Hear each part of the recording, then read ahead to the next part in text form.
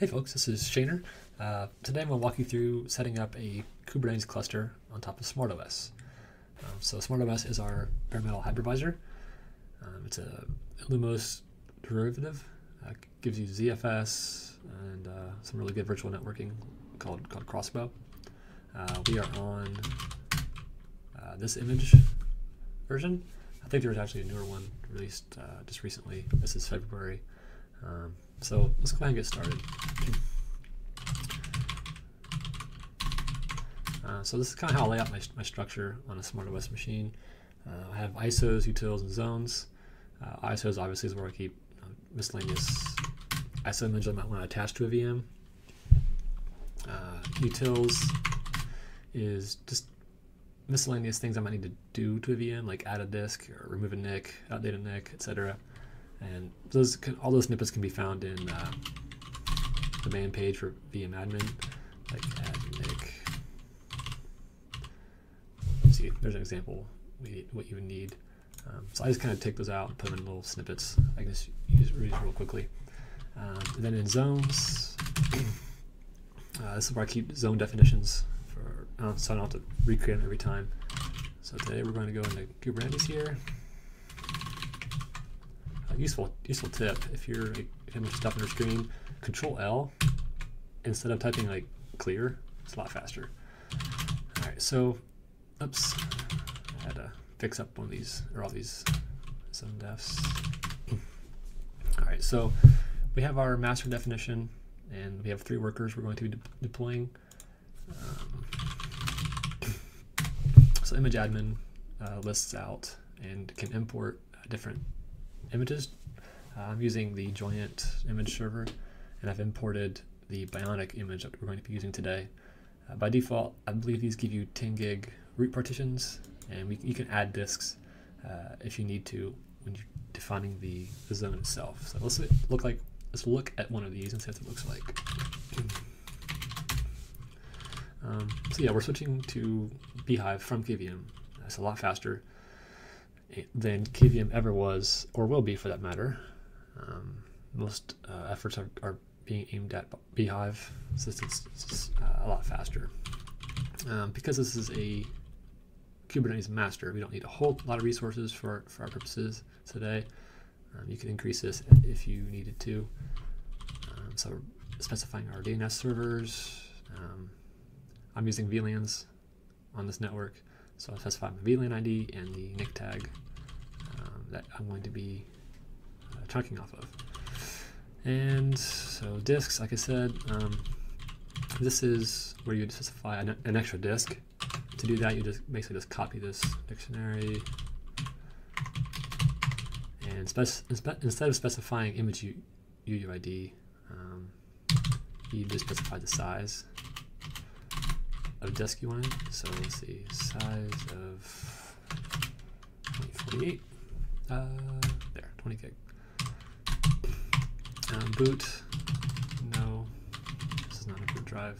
Boot disk, uh, model VirtIO, and that should do. But know, I'm not going to need this right now, so I'm going to not create that. But uh, the secret sauce is right here. Um, there's a couple different ways you can do this. You can specify uh, user data or you can say, uh, I'm sorry, user script, or cloud init colon user data. And this is basically just cloud init data that will get pushed into the VM, where cloud init will take over and uh, do your bidding. Basically, what that looks like is this. Um, if you go to the cloud init uh, documentation, there's so many things you can do with this. Uh, it's very handy. Um, so we're using the run command, which will execute one time when the first when the machine first starts up. Um, there's also boot command, uh, which does the same thing, but er earlier on in the boot cycle. Um, so for our purposes, we just need to do it this way. Um, there's a couple different ways. You can specify it as an array, kind of like you would with execve uh, library call. But uh, you can also just do it like this. this is what we're doing. Uh, note, uh, cloud init data is in YAML, but we need to pass it pass it in as JSON. So there's a couple things you need to be aware of. Uh, primarily, uh, any double quotes need to be escaped.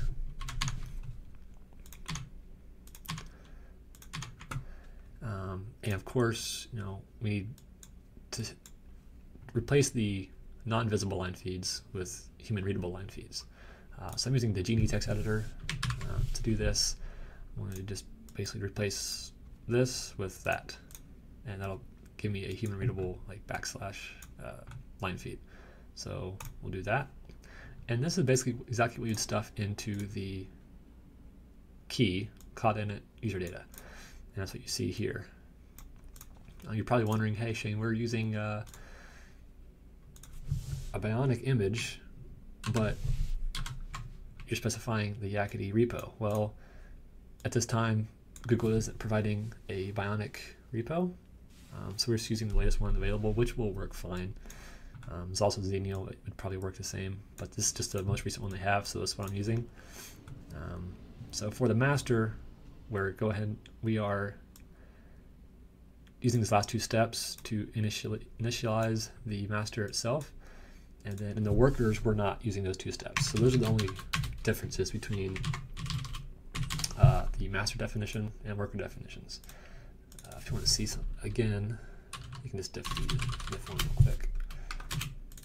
So aside from the run command, cloud data, we're specifying a little bit more RAM, uh, changing the alias name, obviously, and the IP address. We're incrementing by one for each worker. So let's go ahead and create these things, and uh, we'll get started. Create, and VM admin, you can pass in standard, in, pass in your JSON as standard in, or you can specify the like dash f switch. So master. Okay, that deployed. And it might look like deployed really fast, but I actually paused the video for a few seconds while that uh, deployed. Um, so we we have deployed this. Let me say deploy one more time. so it is supposedly running.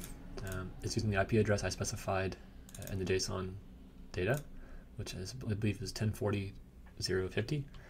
So we should be able to SSH to that uh, directly. And ideally, if, if you were not providing a th this key right here for, for Cloud Init, which basically imports your SSH key directly from Launchpad, which can be handy, um, you would want to have specified a root authorized keys parameter in the JSON data.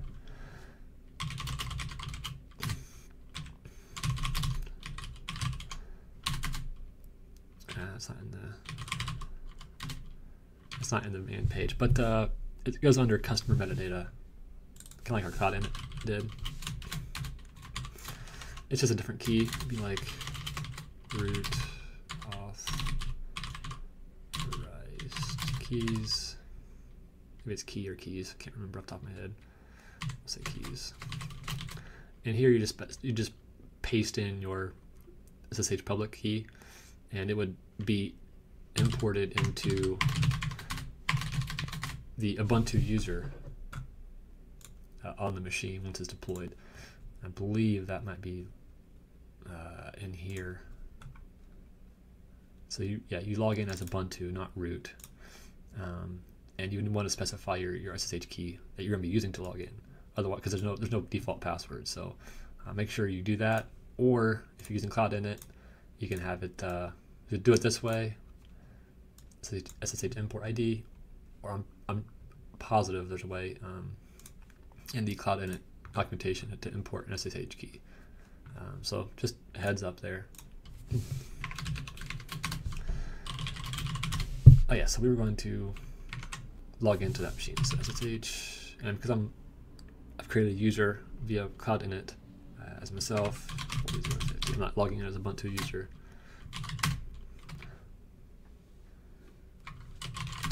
Okay, so we're logged in. Let's see where we are in the Cloud Init script.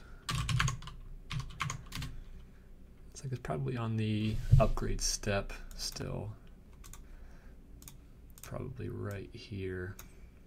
Then we'll go through. These happen pretty pretty quickly.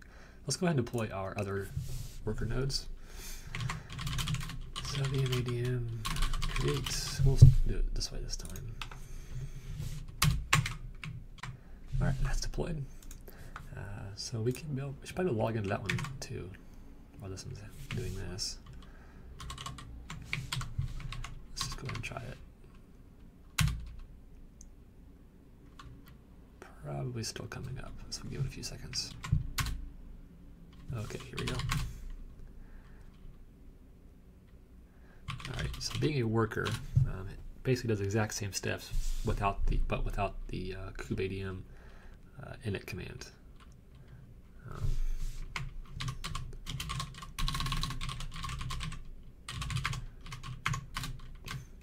So that's going to go on and do all the same same stuff.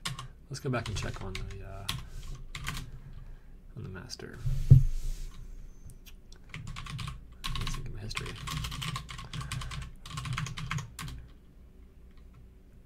Alright, we'll wait pause, pause the video here and we'll wait for this to finish up. Okay, so minor issue here. I didn't actually test this first. Why, you know? Uh, so saying no kubeadm package. Um, let's make sure that the apt repo is set up correctly. So we see that sources list. Uh, looks good. Well, maybe maybe we can't use Yakety yet, so let's let's fix that.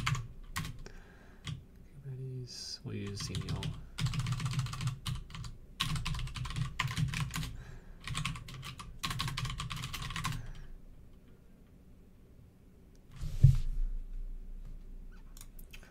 And we're trying to install these three things. So.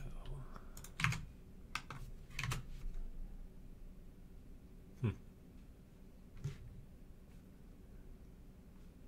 I guess that's still trucking along. Try again.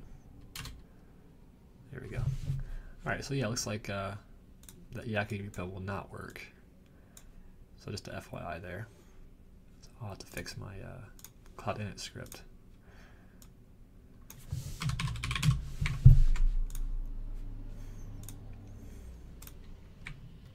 Okay, so that's installed. Let's go ahead and uh, do the kube at ADM init uh, that our cloud init script should have done, but it could install the necessary uh, packages. So let's go and do that. Kube ADM.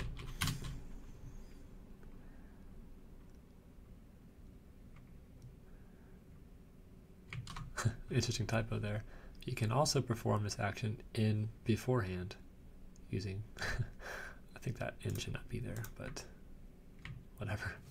All right, so while it's doing that, I'm gonna go ahead and fix up the worker that we deployed because that probably I used the same uh, repo there. So let's go back and fix that.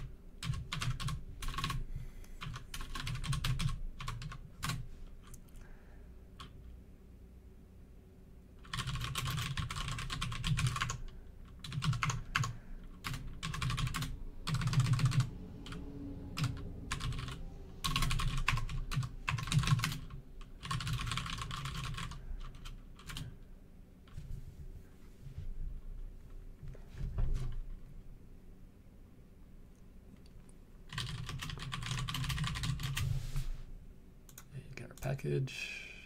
these three. I don't think we probably need cube control on this node, but maybe you do. I don't remember. Uh, still working along somewhere. So it's still installing Docker, so we'll wait a little bit here. And let's try again. Still working. oh, it's trying to do it. Hey, maybe I did it in time. Uh, let's see.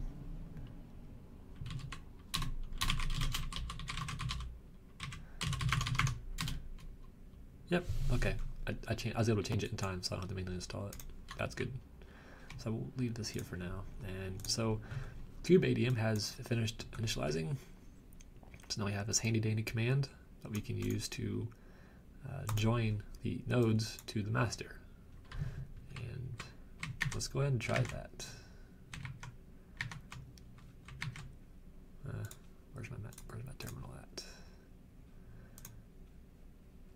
This one? Nope. Is it this one? Yes. Alright, so let's give this a shot.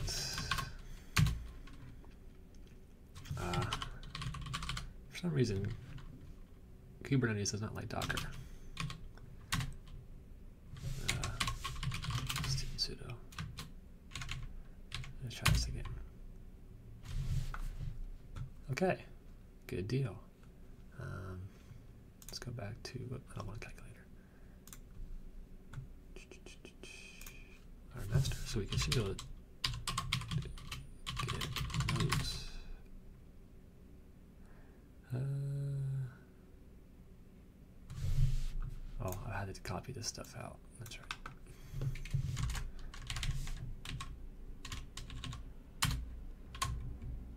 Awesome. Okay. Uh, I'm gonna go ahead and deploy the rest of these. This guy, and this guy.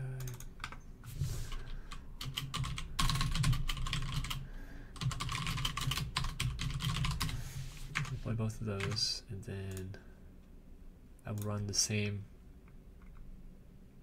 join command uh, on those when those are done.